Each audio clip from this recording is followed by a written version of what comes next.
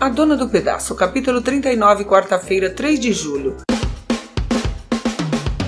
Quer ficar informado sobre tudo o que vai acontecer nas novelas bem antes de passar na TV?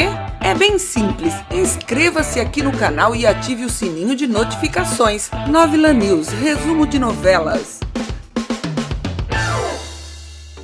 Gladys mente para Liris sobre seu encontro com Amadeu. Theo percebe a troca de olhares entre Regis e Jo. Quem leva Márcio para o seu apartamento? Britney se irrita com os comentários de Abel. Otávio faz uma proposta para Sabrina. Kim faz fotos com Márcio. Linda tem uma ideia para Vivi presentear Camilo. Agno se desculpa com Roque. ZL elogia Beatriz. Fabiana insinua a Camilo que Jo sabe o que está acontecendo com Vivi. Vivi compra o presente de Camilo. Regis entrega parte do dinheiro que pegou com Naldo para Jo e decide ir ao cassino.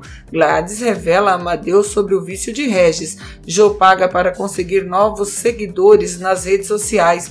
Theo e Kim ajudam Maria da Paz a organizar o casamento.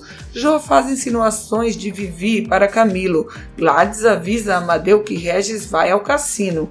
Kim mostra as fotos que tirou com Márcio para Silvia. Amadeu leva Maria da Paz ao cassino.